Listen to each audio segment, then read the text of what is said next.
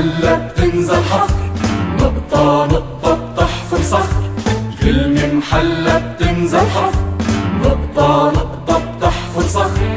لو فرجونا نجوم الدهر مع نوال الصوت بيعلى. ومنحط النقطة عالصفر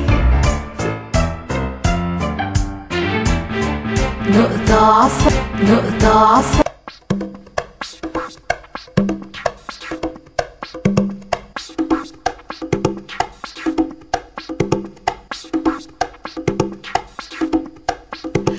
لبنان غارق في بحور العاصفة الطبيعية اللي حولته إلى مستنقع كبير للمياه سبحت فيه السيارات. وفي المقلب السياسي عاصفة أخرى في فنجان الشعبوية عبرت عنها المواقف من قانون اللقاء الأرثوذكسي. إجماع من أعضاء لجنة بكركي ومزايدات سياسية تتقاطع على مواقف شعبوية مش أكثر خصوصا أنه خبراء دستوريين عم بيأكدوا عدم دستوريته وإمكانية الطعن فيه. مشروع قانون يسمح لكل طائفة بانتخاب نوابها تطفو حظوظه إلى العلن في بلد طائفي بعد تطورات أخيرة أدت إلى إجماع شبه كلي على نسف قانون الستين. فهل تتحول جلسة اللجنة الفرعية لقانون الانتخاب؟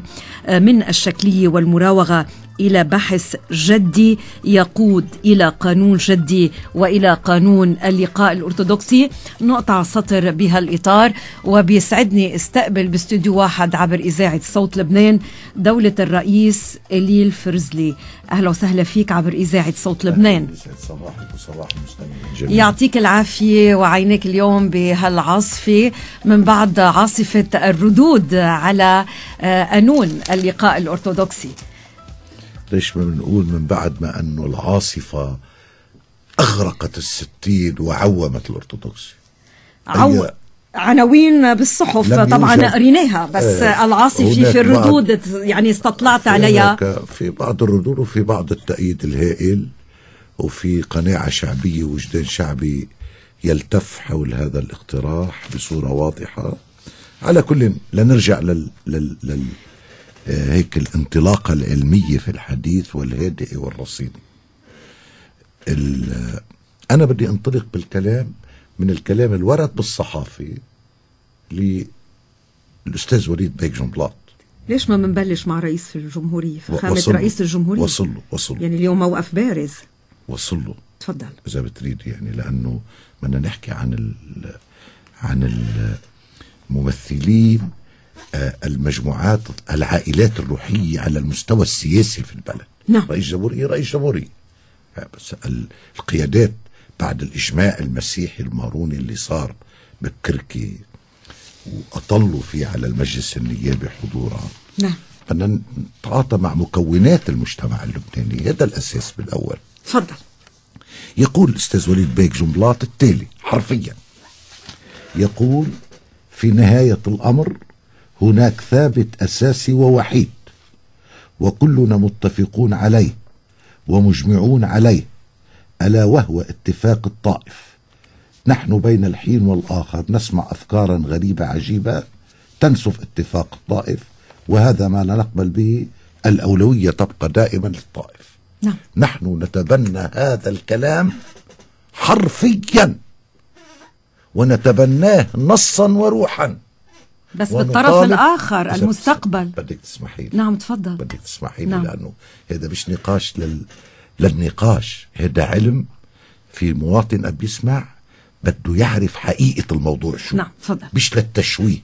إيه. ونحن بالنهاية نحن بإذاعة يقال أنه ممثلين السياسيين الحقيقيين كانوا جزء من الإجماع على القانون الأرثوذكسي طبعا. مش هيك؟ فإذا بدنا بدنا نحكي كلام دقيق لحتى تتحول منبر هذه الإذاعة من المنابر التي تدافع عن هذا المشروع. نعم. اولا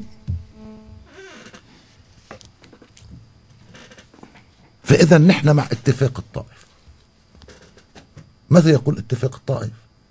يقول حرفيا وفقا لنص المادة 24 من الدستور من الآن وحتى يوضع قانون خارج إطار القيد الطائفي تراعى المناصفة بين المسلمين والمسيحيين. نحن نريد المناصفة. الذي حدث منذ عام 1991 92 أن الدستور استبيح استباحة كاملة على حساب الشريحة المسيحية في لبنان ولم يعطى قانون واحد وفقا لاتفاق الطائف. وهناك تمسك بقانون قام الطائف على أنقاضه وهو قانون الستين الطائف بس طلع.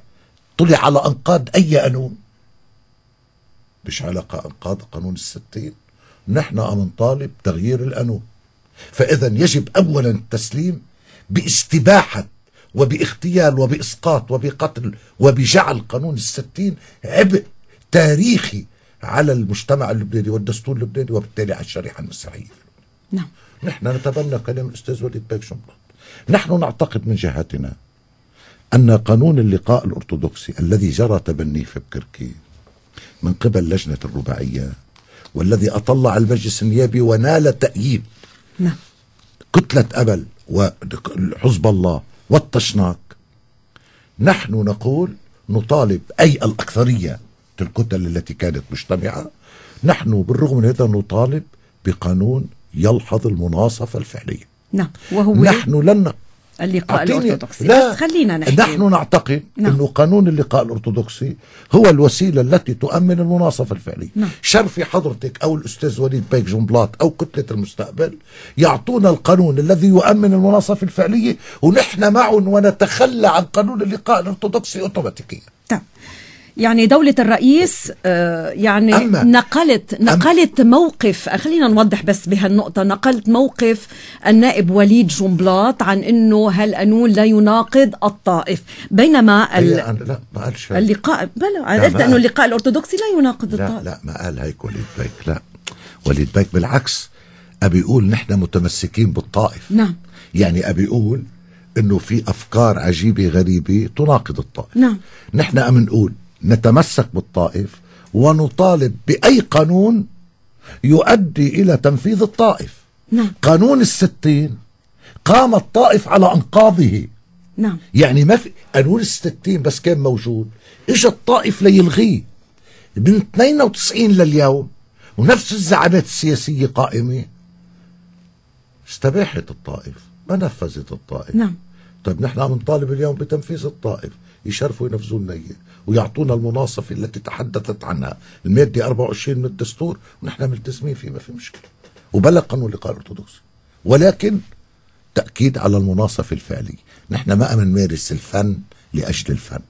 أما أن تبقى الوضع على ما هو عليه استتباعا وتهميشا وتحجيما وتهميشا نعم. للمسيحيين على قاعدة استتباعهم واستلاد نوابهم وقياداتهم بكنف القيادة الكيانات المذهبية الأخرى. هذا أمر لا يجوز. لا يجوز أن نتطلع إلى الواقع ونرى أن السنة في لبنان ينتجون نوابهم مية بالمية. نعم. الشيعة في لبنان ينتجون نوابهم مية بالمية. الدروز ينتجون نوابهم مية في المية ونجي التعاوية مسيحية. أنتوا عطيناكم 64 بس هيدي 64 شكلية. أنتوا تفليسة بدنا نوزع ذممكم النيابية على مختلف الكيانات المذهبية.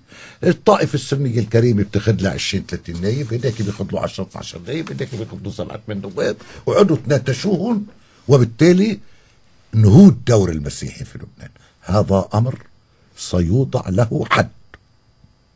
كيف؟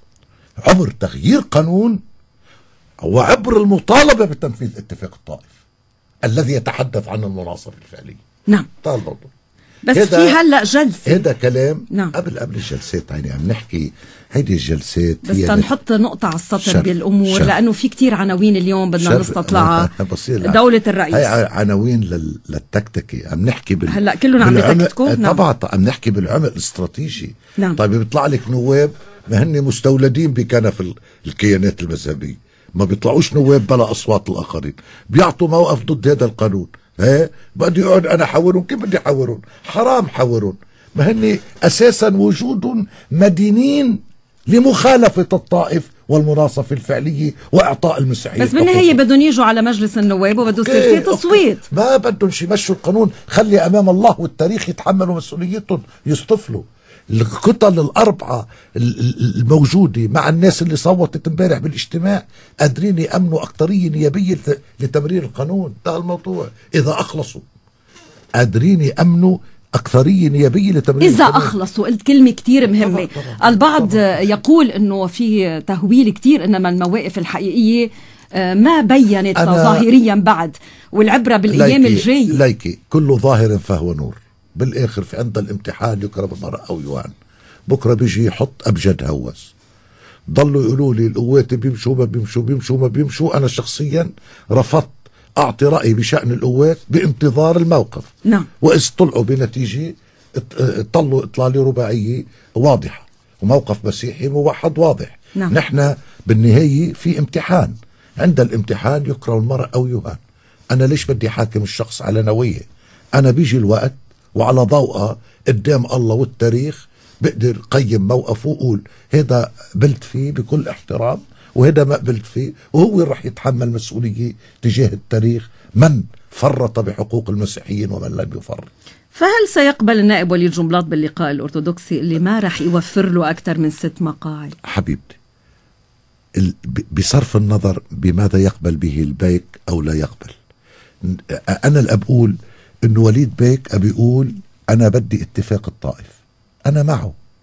وليد بيك وقف قدام القصر الجمهوري وقال نحن عندنا خصوصيتنا نرجو احترامها وقلت له أنا معك. وقال أنا لا أريد أن أذوب في المساحات الكبرى. طيب أنا معه لأنه أنا كمان أيضا لا أريد أن أذوب في المساحات الكبرى. وما ينطبق عليه كطائفة أتفهم هويشه ينطبق علي كطائفة أت- يجب أن تتفهمي هويشتي في الوقت عيني. وقال أنا لا أريد أن أحجم. هذا حقه لأنه كل إنسان ما بيريد أنه يتحجم. في الوقت عينه أبي يقول أنا مع اتفاق الطائف لأنه ما بتكفي رغباتي. في قانون ينط... ينظم العلاقات العامة بين الناس اللي هو اتفاق الطائف. نحن متمسكين باتفاق الطائف. وخلينا نرجع نعمل قراءة مشتركة لاتفاق الطائف. أوعى يكون عنا على بالهم إنه التنفيذ الذي تم لاتفاق الطائف الخاطئ والمشوه والمزور منذ عام 1992 هو الحقيقة التي يجب أن تسود. لا. عندما قيل نريد, نريد أن نجب عهد الوصاية بدك تجب عهد الوصاية وتجب ما ترتب عليه من نتائج على الأرض. من جملة النتائج هي أن الدستور لم يطبق بصورة سليمة في حينه حق على مين؟ أبناش نقيم لأنه أنا عندي لما. نغرق بالتفاصيل، إيه نعم. طيب. لأنه وجهة نظري أنا حق الطبقة السياسية مش على الواحد. على كل حال كله هذا بينبحث. ال- السؤال المطروح.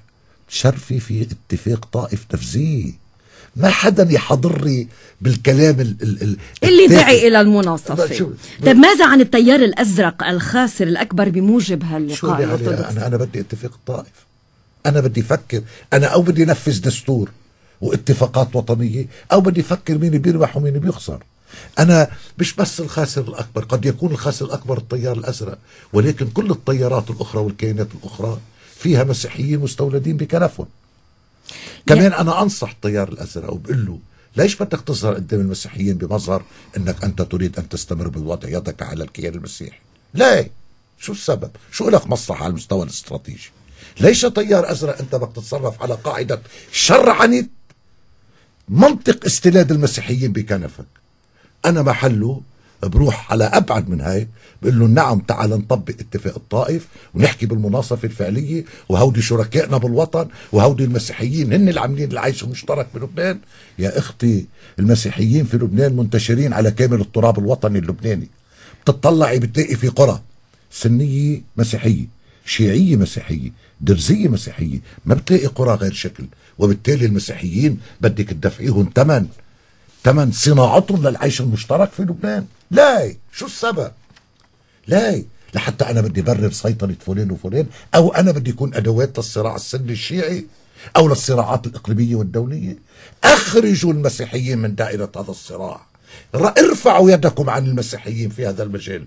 في صراع خلي كل واحد يعملوا صراعاتهم ببعضهم المسيحيين بعدين بيروحوا بيتحالفوا. نعم. بعدين نحن ما بنقول لتيار المستقبل نحن بدنا ناخذ منك نوابك لنعطيهم لحزب الله ولا عم نقول للقوات بدنا ناخذ نوابك بدنا نعطيهم لميشيل عون نحن عم نقول النواب اللي بده يخسرهم تيار المستقبل رح ياخذهم سمير جعجعو وأمين جميل والمسيحيين الآخرين حلفائهم فإذا كيف بيكونوا خسروا؟ كيف بيكونوا خسروا؟ آه بيكونوا خسروا نواب. السنة.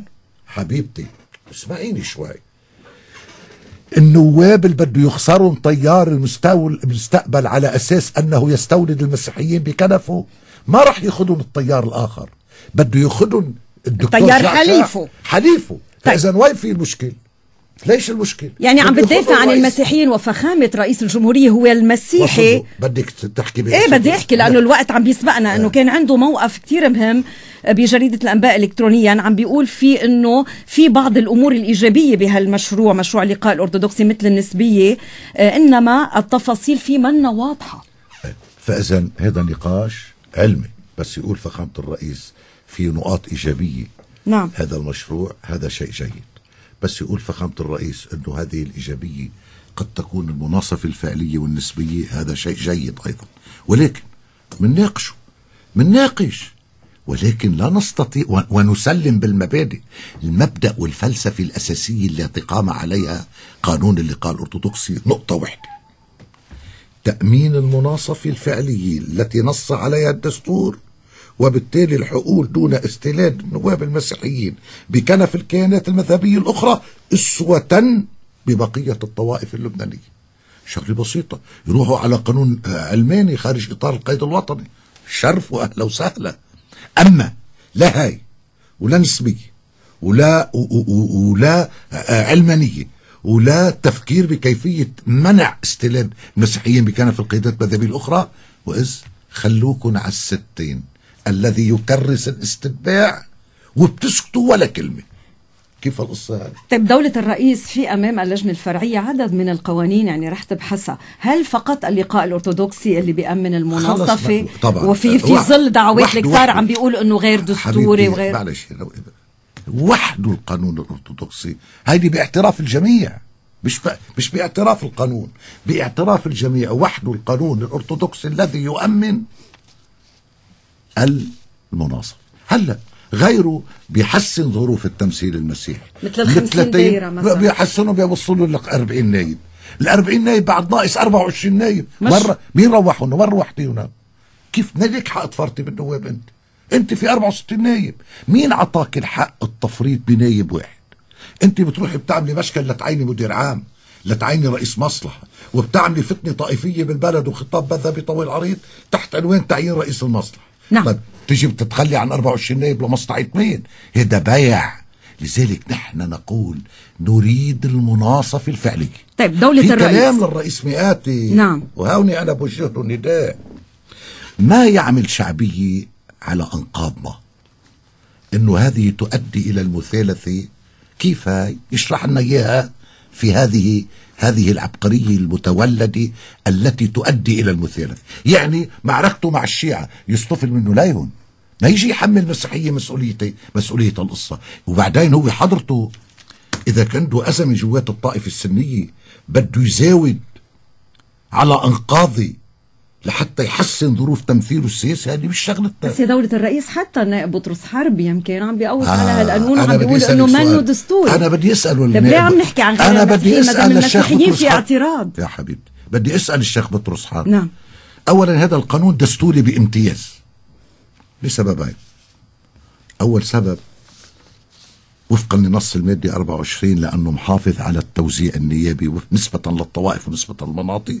ثانيا لأنه الدستور نفسه بالمادة 22 حكي عن مسجد الشيوخ يمثل العائلات الروحية أي كل طائفة تنتخب نوابها وأنا بسأل الشيخ بطرس حرب هذا مش دستوري اللي بيحسن من ظروف التمثيل المسيحي؟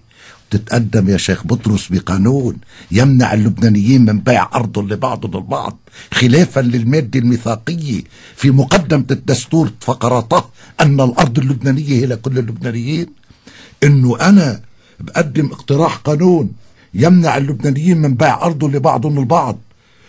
مش بس مش دستوري مخالفة مباشرة للنص. مخالفة مباشرة لمقدم الدستور هذا مش دستوري وهذا دستوري. هيدي تفكير بمصالح سياسية أنا ما لي عليها. دعي رئيس الجمهورية إلى تشكيل لجنة من الحكماء الدستوريين يعني من داخل المجلس ومن خارجه لبحث هالقانون يعني. أنا مع بحث أي قانون. بصرف النظر شو بتقول الدساتير شو الحكماء. نعم. نحن نصر على نقطة وحيدة. ما منصر على القانون كقانون. نحن نصر على مبدأ المناصفة الفعلية وفقا لنص اتفاق الطائف. نعم. دولة الرئيس لنستوضح أكثر ونستفيد من وجودك معنا. الخاسرون هن طبعا على أساس هالقانون هن اللي عم بيعترضوا عليه. آه الخاسرون بموجب اللقاء الأرثوذكسي كتار. فأي فريق رح يحصل على الأكثرية النيبية بموجب هالقانون إذا أقر؟ ولمصلحة مين رح ترسل الأمور؟ هل لمصلحة المسيحيين فقط؟ لا مش لمصلحة المسيحيين. ما بيسوا مصلحتهم شيء. المسيحيين بيطالبوا بحقوق. ما بدهم يعتدوا على حدا. وما بدهم من حدا شيء. كل الأمر أبي يقولوا لهم للناس يا إخوان مش من قبيل الصدفة أن يجتمع الدكتور جعجع والعماد ميشيل عون وكل الأطراف المتناقضة على الساحة المسيحية بكركي. كل الأمر في حالة وجدانية. نحن نتعرض لعملية سطو على حقوقنا. نعم. نرجو عدم الاعتداء علينا. نحن ما بدنا نعتدي على حدا ما بدنا حق من حدا. وقفوا عملية تهميشنا وقفوا عملية الاعتداء على حقوقنا. هذا بس فقط الكلام. أعطيني أي قانون يؤدي إلى تحقيق الغاية. وأنا بقول لك بأمرك ما بدي شيء. شو الجرم اللي يرتكب؟ لا هذا القانون أصبح يتمتع بشرعية شبه. قانونية على مستوى المجلس النيابي عندما أقدمت الست كتل التي تؤدمن الأكثرية النيابية على تبنيه وبالتالي الحكي بدك تبلشي من هون وبطلوع. ما بيبلش من من عنده وبنزول نعم. هذا السقف. وبالتالي أي نقاش آخر مرفوض من الباب مرفوض. على كل حال معنا على الخط مباشرة مفوض الإعلام في الحزب التقدمي الاشتراكي رامي الرئيس. من صبحك بالخير عبر صوت لبنان. صباح الخير لك ولدولة الرئيس ولجميع المستمعين. طبعا النائب وليد جنبلاط اعتبر بحديث له إنه هالقانون يدفع نحو التطرف والانعزال. يعني كل يوم عنده موقف عن قانون الانتخابي. قانون اللقاء الأرثوذكسي برأيك قديش له حظوظ يمر أنا بتصور في موقف متقدم عبر عنه فخامة رئيس الجمهورية بالأمس بحديثه مع جريدة الأنباء كنا نحن عنده امبارح بعد الظهر. وأطلق الموقف من خلال لقائه معنا. وبتصور هذا الموقف سيؤدي بشكل أو بآخر لإعادة خلط الأوراق. أنا ما فيني أدخل حقيقة بتفاصيل يعني الموقف المسيحي أو أو الاعتبارات الأساسية اللي هي تقف وراء يعني مشروع اللقاء الأرثوذكسي. بس بتصور فخامة الرئيس يملك ما يكفي من حيثيه سياسيه ووطنيه وحتى داخل المجتمع المسيحي إذا صح التعبير لكي لا يتعرض لمزايده بهذا الموضوع وهو قال بشكل واضح إنه وجهة نظره انه هذا الموضوع هذا المشروع يتعارض مع الدستور وقد يكون عرضة للطعن إذا أقر في مجلس النواب أمام المجلس الدستوري يعني وبفتكر هذا يعني يضع كل المشروع في حاله جديده للنقاش ربما على قواعد أخرى. نحن كان لنا رأي طبعا مع التقدير الكامل لكل أعضاء اللقاء الأرثوذكسي والجهد اللي بذلوه يعني في إطلاق هذا المشروع، نحن برأينا هذا المشروع للأسف يساهم في تأبيد النظام الطائفي في لبنان ويشكل تراجع إلى الوراء. يعني إذا كان في مأخذ على قانون الستين إنه بيرجعنا لسنة الستين القانون الأرثوذكسي بيرجعنا قرون قرون إلى الوراء.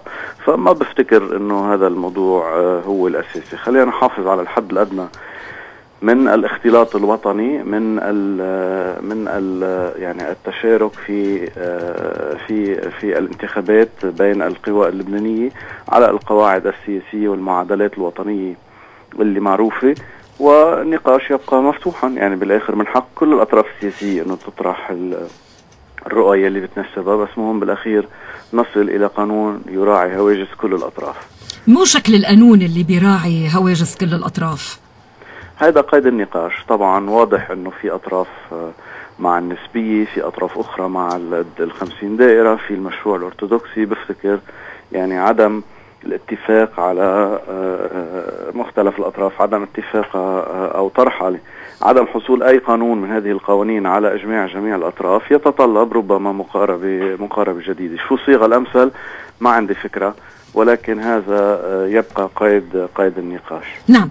سمعت دولة الرئيس إلي الفرزلي طبعا موقف للحقيقة وأنت عبرت عنه وحكي عنه كل يوم في موقف لسعادة النائب وليد جنبلاط. بس شو القانون الأمثل اللي بيرضي كل الجهات برأيك؟ وشو بتحب ترد على كلام مفوض الكلام؟ أستاذ رامي صباح الخير. صباح الخير دولة الرئيس. حبيب القلب أنا قريت اليوم تصريح لوليد بيك. نعم. يتحدث فيه بشكل واضح أن هناك جامع واحد وقاسم مشترك وحيد اسمه اتفاق الطائف الذي ينظم الحياة العامة في البلد. هذا يجب احترامه.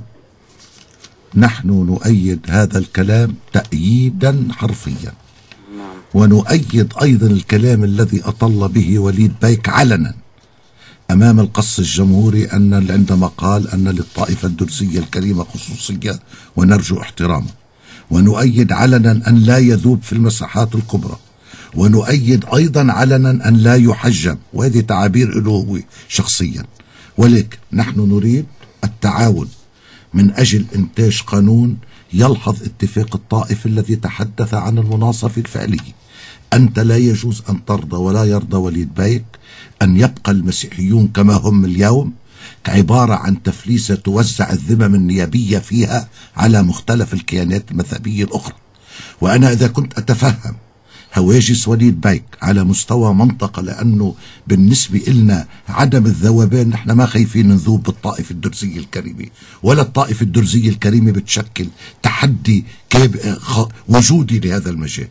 في وضع عام بالبلد وبالمنطقة أنت بتعرفه وليد بيك بيعرفه يجب التفكير بإنتاج قانون يلحظ الوجدان المسيحي العام الذي برر وشو بدك بكل الكلام الآخر لم يجتمع هؤلاء الذين اجتمعوا في بكركي إلا لأنه بتعرف التناقضات بيناتهم وحجمها وعمقها إلا لأنه هناك هواجس جدية نعم. يلحظونها ويعيشونها ويشعرون بضغط القاعدة باتجاههم ولأنه محقين بطلبهم في تنفيذ اتفاق الطائف. أصر نعم تفضل تفضل وأتبنى كلام وليد بيك بالنسبة لاتفاق الطائف. أنا بتخوف دولة الرئيس أنه يكون الاتفاق اللي حصل ببكركي هو نتيجة وقوع بعض الأطراف السياسية أسرى مواقف علنية أطلقوها أكثر مما هو فعلا يعكس اقتناعهم بهذا الموضوع. جيد. وهذا شأنهم شأنهم شأنهم بس شأنهم أنا عديك بس أنا رأيي نحن رأينا بأنه آه، يعني آه، القول بأنه انتخاب نواب مسيحيين بأصوات مسيحية صافية إذا صح التعبير أنا ماني واثق إنه هذا هو الطريق هو الأفضل. الفكرة أستاذ رامي. هو الطريق الأفضل للتمثيل مع الأحسن. أنا أنا ماني موافق. أنا أنا ماني موافق نحن وجهة نظرنا بقدر ما يتحقق الاختلاط الوطني. بالانتخابات النيابية. ويراعى مسألة تحسين مستوى التمثيل المسيحي إذا كان هناك هاجس من هذا الموضوع انتبه. قد يكون مفهوم بقدر ما نعزز الوحدة الوطنية. لا, لا يمكن لايك شو قلت أنت أستاذ رامي هلا؟ موقع واضح للتفرقة. واضح. أستاذ هذا مش موضع التفرقة. التفرقة قائمة على الأرض. وعملية القهر موضوع تكريس و... و... لا أنت عم بتشيل الصراع من بين الطوائف وبتدسه جوات الطوائف لأنك عم تطبق النسبية ضمن كل طائفة على كل حال أنا بفهم كلامك تماما وكمالا أنا كل شيء اللي عم نقوله أستاذ رامي نعم. و... ونحن آه، نعتبر أما نفكر على صوت عالي آه، سوية نعم. نحن نطالب بشكل واضح إنه بالقانون الذي يلحظ مش تحسين ظروف التمثيل المسيحي المساواة بين الطوائف بكيفية إنتاج نوابة. نعم. أنا ما في تقول لي أنت أنا حسنت لك ظرفك من 30 نايب ل 42 نايب. أو ما عندك قناعة إنه المسيحيين لازم يكون عندهم 64 نايب خلينا نطرح القصة عن النقاش. أنا آه لا لا مش أنت. عفوا أستاذ رامي. ماني قصدك لك أنت. صحيح أفكر على على كل حال نحن دولة الرئيس بنعرف فكرك العلماني ودورك الوطني على على مسيرة سياسية طويلة مش بموقع نعطيك الله يخليك. نعطيك شهادة بهذا الموضوع. شكرا. إنما أنا أكرر وجهة نظري. أنا لست مقتنعا بأنه انتخاب نواب مسيحيين أو مسلمين بأصوات صافيه بين مزدوجين صافيه من من مكوناتهم آه، الطائفيه يحسن التمثيل أو يحقق التمثيل الأفضل أو يحقق قاعدة الاختلاط الوطني يلي نص عليها الاختلاط الوطني لازم تعرف أستاذ رامي إنه اللي عامله المسيحي بلبنان. 100% أنت بتلاقي في قرى سنية مسيحية شيعية مسيحية درزية مسيحية ما بدنا ندفع المسيحيين ثمن إنه هن حولوا لبنان نحن شكراً. بفتكر. بتعرف دولة إيه، الرئيس شكرا لك على ما كل عندي حال شك. يا أهلا وسهلا فيك اسمحوا لي إيه تفضل. إيه تفضل قل كلمتك وامشي لا لا تفضل. لا, لا ابدا, أبداً. يعني آه، انهيتوا لي مداخلتي قبل ما تخلص ما- ما قلنا إذا شيء، تفضل. إذا صرتوا مزروكين بالوقت بنسحب ما مش لا. لا تفضل أهلا وسهلا فيك بس افتكرنا نحن أنك خلصت ورديت على. الجواب أنا بدي أرجع أكد قانون الانتخاب أحد المحطات الأساسية التي يمكن النفاذ من خلالها إلى تعزيز الشراكة الوطنية وليس تكريس الانقسام الطائفي. ونحن على قناعة تامة باللي حكاه دولة الرئيس فيما يتعلق بالدور المسيحي بلبنان بفتكر مثال بريح الذي حصل بالأمس. بالأمس هذا مثال تحية تطبيقي. تحية وشكر تطبيقي تحية جدي جدي على كيفية ال- آه، يعني آه، آه، ترجمة القناعة في الشراكة الوطنية. وليس العكس. فأحسن ما يكون في شعارات طنانة وعلى الأرض في عمل فارغ العكس صحيح هو. هو العكس هو الصحيح. نحن. عندنا ساعة بهالموضوع وتحية لوليد بي على كل حال أهلا وسهلا فيك عبر صوت لبنان. بدك. تسمح لي دولة الرئيس عندي أسئلة سريعة بيكون أجوبتك. عليها سريعة لأنه. خلص الوقت. أعطيناك الوقت المناسب لحتى بي- لا، شكراً، تحكي. شكراً. يعني البعض طبعا بمعزل على اللي يقول البعض وصف مشروع اللقاء بأنه انتحاري للبنان. الأخ- البعض الأخر بده يحمل شنطه إذا طبق هذا القانون ويسافر مثل النائب محمد اباني اليوم. آه البعض اعتبروا قانون فيدرالي. البعض قال بيعمل شرخ بين المسيحيين. آه، البعض قال كيف بده نحن يعني إنه ننتخب كل نايب آه،. طائفته يعني. هودي صار معروف الجو بس أنا السؤال. لا هل هناك جدية أنا هيدا سؤالي هل هناك جدية في النوايا المعلنة أم إنه هناك عملية زر للرماد في العيون وإضاعة الوقت دوايا المعلنة من مين؟ من الأطراف الباقيين. مين الباقيين؟ يعني مثلا من قبل حزب الله ومن قبل حركة أمل. ونحن بنعرف الموقف الشهير لدولة الرئيس نبيه بري بيقول يتفقوا المسيحيين ونحن بنمشي. يعني بعض يقال إنه لما بتدق ساعة الحقيقة رح تتغير كمان. هاي هاي يعني هاي بطلت بطل حكي له علاقة ب ب ب آه، بعلاقة ال ال في كلام انتقل من كلام القرايا لكلام السرايا. نعم. امبارح صار في اجتماع رسمي. نعم. رسمي. على منظر من اللبنانيين. وقامت حركة أمل وحزب الله بالتصويت. وبالتالي ما عادش في مجال للنقاش بالموضوع نعم. هذا صفى نوع عنزي ولو طارت ونتيجة الوقوع أسرى للمن... لل- للمنطق المتراكم سابقا. نحن اليوم ما غايتنا إلا صناعة الوفاق الوطني. نعم. نحن ما عندنا مصلحة غير نصنع الوفاق الوطني. اللي أنا نطالب أن لا يكون هناك وفاق وطني على أنقاض مكون أساسي من مكونات المجتمع اللبناني اللي هو الشريحة المسيحية. شرفوا عنا مناصفة فعلية بهالدولة ملي معروف أمني لي بوفقا للانتخابات أسقطي منطق إنتاج المسيحيين بكنف الآخرين. هذا موضوع مرفوض. نعم. نقطة على السطر. وهذا حق مش مرفوض لأنه لمجرد الرفض. هذا حق. أعملي اللي بدك إياه القانون اللي بدك إياه سميه مش لقاء أرثوذكسي سميه لقاء صيني. أنتجي هذا الواقع المضمون ونحن ما بدنا شيء منك. أما كل كلام آخر والمداورة واللف والدوران ل- لمرمغة بوز إن صح التعبير امبارح طلعوا بهذا قال بدي ال 26 دايرة خلينا نعملهم 35 دايرة. لا والله ساعتها ال 50 دايرة أحسن. ليش بدي اقبله؟ تبع القوات أحسن ال 50 دايره من تبع حضرة ال- ال- الأطلال الجديدة بمرمغه بوز المسيحيين بثلاث أربع دوائر زيادة. لا. نحن أم نطالب بمنطق كامل متكامل. عنوانه نقطه ما تجيش نقطتين شو؟ المناصفة. بين نعم المناصفة. المناصفة ما بدي شيء بدك. طيب بنقدر يا دولة الرئيس دايما يعني بنقدر بيقدروا الأذريون يمشوا للآخر آه، بهالقانون رغم اعتراض آه، تيار المستقبل واعتراض نائب وليد جنبلاط يعني بيكملوا للآخر. يعني هذا أسئلة أسئلة مطروحة آه، اليوم. طبعا طبعا. اولا اولا هذا هذا في اعتراض نعم. وفي اعتراض مرفق بالتفتيش عن حل. الكلام اللي حكيه الأستاذ رامي الريس هلا كلام جيد. يتحدث عن حلول. عرفت كيف؟ يتحدث عن التفكير بكيفية تأمين مصالح إزالة هواجس كل الأطراف. أنا ما إلي حق أقدم شيء يزيل هواجسي ويأمن هواجسك نعم. فأنا إذا ما إلي حق وبالتالي خلينا نفكر كيف إنما على قاعدة المناصفة الفعلية. نعم. طيب دولة الرئيس ماذا لو اتفقوا على هالقانون؟ بتصير انتخابات أن نحن بنعرف إيه، إنه؟ آه يعني كل اللوائح مبنية على قانون الستين لوائح الشطب أي- وفي أي عملية انتخابات. الانتخابات الماضية. ليكي- ليكي. يعني هل إذا اعتمد قانون لا- جديد لا- لا- هل آه، بيقدر يصير في عنا انتخابات إيه. بهالمهلة المتبقية عنا؟ شو بيمنع؟ انت في ثلاث انتخابات صارت انعمل القانون قبل شهر. شو انتخاب أنت مصدقة هذا الكلام كله هلأ؟ ما بصدق آه، كلام آه، معالي وزير ليش الداخلية معالي وزير الداخلية مع احترامي له ليش القوانين اللي انعملت بالانتخابات اللي صارت بالماضي إمتى انعملت قوانين؟ يعني بترسل مثلا وزارة الداخلية لوائح شاطب للمخاتير ليدققوا فيها بدءا من هيدي- 10 هيدي- شباط مش- شهر لتضييقه هيدا شو شو بيسموه؟ كلام تفصيلي هذا كلام ما له قيمة. أنت عم تحكي عن مشكلة وطنية كبرى. لا أنا عم بحكي هل ممكن يصير في إيه تأجيل موعد الانتخابات على شهر وشهرين شو بيصير؟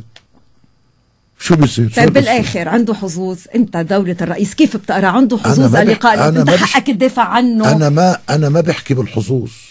أنا بحكي بالأسباب الموجبة التي املتها هذه الأسباب الموجبة ستظل ماثلة. وتخيم فوق لبنان وفوق حتى فخامة رئيس البلاد الذي تحدث وأقر بأنه هناك ما يبرر هذا الكلام. وعلى ضوءها يتبين هذا الخيط الأبيض من الخيط الأسود. أنا بالنسبة لي ما بلعب لعبة الحظوظ وما بتنبه لا ولا بضرب مندي. بس في كلام في كلام آه، الحظوظ مبنية على واقع وشو عم بيصير يعني بال-. بالسياسة يعني. أنا جيت لعندك من جيت لعندك الأفرقاء. جيت لعندك من كذا شهر. نعم. وجيت لعند غيرك من سنتين وثلاثة. نعم. وحكيت بهذا الموضوع. إذا سألتيني وقتها شو الحظوظ كمان كنت جاوبتك نفس الجواب. طب لو ك- اطلعي على الخط البياني للقانون بتلاقيه إنه انتقل من حك القرايا لحك السرايا. صفى ماثل في كل خطاب في كل زاوية من زوايا لبنان وماثل عند المجموعات اللبنانية ولا يستطيع أحد أن يتحرك من تحت سقفه فإذا بس أنا ما بضرب مندل وهلأ بقول لك ما بقدر أحكي عن الحظوظ بقدر أحكي على مدى التزام الاتفاق الرباعي الذي تم والتحالف مع حلفائهم حول مسألة التسليم بحق المسيحية بالمناصفة الفعلية وتثبيتها بصرف النظر ما يتفضل به السيد دولة رئيس مجلس الوزراء المئاتي للتحدث عن المثالثة. هذا منطق جديد. فأصبح مع الأستاذ فارس سعيد بس يحكي مع المثالثة تاني في تنسيق بينه وبين الأستاذ نجيب مئاتي. حياه الله حيا الله. عم بيقولوا دولة الرئيس ويقال إنه لو كان في جدية فعلا بأق... بإقرار مشروع اللقاء الأرثوذكسي للانتخاب كانوا فعلوا هالشيء من البداية المسيحيين شو عملوه كانوا فعلوا هالشيء ليش تأخروا لهلأ لحتى تبنوا اللقاء الأرثوذكسي؟ وليش بولس الرسول ما آمن بالدعوة قبل بشهر مش بعد بشهر. وليش الذي الأنصار اللي طلعوا ومشوا بالدعوة المحمدية ما آمنوا قبل بشهر بعد بشهر. هيدي قصة بتجي تتوفر ظروف موضوعية. تنضج حالات معينة يتوفر مناخاتها وبالتالي تأتي بالسياق الطبيعي. نعم. ومن استعجل الشيء قبل أوانه عوقب بحرمانه. هاي القاعدة الأحكام العدلية وبالتالي عندما توفرت الظروف المناسبة نضجت وهذا كلام مش جديد. بأول اجتماع انعقد في بكركي وكان هناك حتى الدكتور سمير جعجع في اجتماع بكركي بجلسة المطارني والزعامات الموارني قال هذا اللقاء الأرثوذكسي باقتراحه لا نستطيع أن نخرج من تحت سقفه. هو محق وعادل. شرفه خلينا نقنع زملائنا حلفائنا أنه نخففوا شراهتهم من وضع يدهم على طوائفنا. وقام الرئيس أمين هل رح يقتنعوا؟ ال- اطروحة الأستاذ سامي جميل والشيخ سامي جميل اللي عملها تتعلق بكل طائفة تنتخب نوابها هذا مش اختراع جديد اطلاقا. هذا شكل من إشكال الأسباب الموجبة التي تعبر عن واقع فمشى الناس في ركبها وبالتالي يجب أن يقاتلوا ويدافعوا من أجل تحقيقها مش قانون اللقاء الأرثوذكسي الأسباب الموجبة التي أملتها. وهذا ما قاله نبي بري دولة الرئيس مجلس النواب في اليوم الأول إن هذا القانون هو نتيجة وليس سبب. يجب هو نتيجة هواجس متراكمة ومسار طائفي عام في البلد. هذا القانون لا يقال له نحن مع أو ضد. هذا يجب دراسة الأسباب الموجبة التي أدت إلى إنتاجه ومعالجته معالجة لأن هذا الأمر يتعلق باستقرار الوطن وبوحدة لبنان أرضا وشعبا ومؤسسة على أمل يقتنعوا الحلفاء؟ حلفاء مين؟ حلفاء لا, الأزاريين. لا, لا الحلفاء مش الأذاريين لا خلينا نكون دقيقين. في حلفاء 14 آذار المسلمين اللي هن بالتحديد تيار المستقبل بانتظار أن يقتنعوا. أنا بتمنى من كل قلبي وأتوجه لهم برسالة. الأستاذ فؤاد السنيورة بيقول نحن هاي بتقوي التطرف. أنا ما شغلتي خوض معركة ضد الجماعة الإسلامية ضمن تيار المجتمع تيار المجتمع ضد الجماعة الكربية الأستاذ فؤاد السنيورة نحن دولة الرئيس نحن شغلتنا نطالب فقط بحقنا وبالكاد نقدر نحصل حق. هيدا اللي قصدته دولة الرئيس إنه يقتنعوا حلفاء الاذريين وتكون مواقف حقيقية لباقي الأفرقاء آه، مثل ما هي آه، ظاهرة. أنا بدي أشكرك دولة الرئيس إلي الفرزلي. أهلا وسهلا فيك عبر صوت لبنان وصباحك صباح الخير. وبختام هاللقاء لكم فيك. أطيب الأمنيات من نوال ليشا عبود شارك بالأعداد توني هيكل اخراج لسيمون مصور.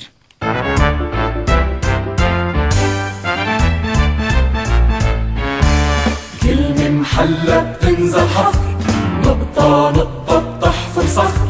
الكلمة محلة بتنزل حفر. نقطة نقطة بتحفر صخر. لو فرجونا نجوم الدور مع نوال الصوت بيعلى ومنحط النقطة عالصخر. نقطة عالسطر